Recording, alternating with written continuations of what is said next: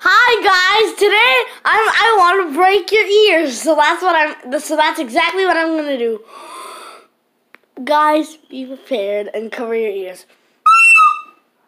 Hold on, let me I think I can make it higher. That's good enough.